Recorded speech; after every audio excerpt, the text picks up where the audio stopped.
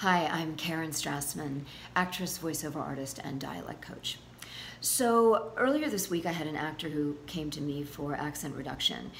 And um, he was extremely frustrated because he'd been doing all of these, you know, for like five years, been doing all these accent classes, working with different coaches. And he said he felt like he still didn't sound American.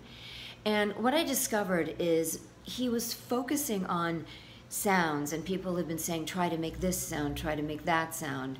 Ah eh, and you know he'd be ah e and he'd try to make that sound.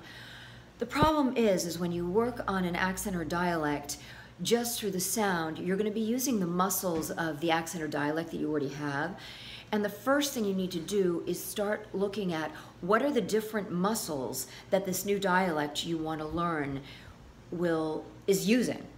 So I'll talk more about that in my next video. Thanks you guys. Bye.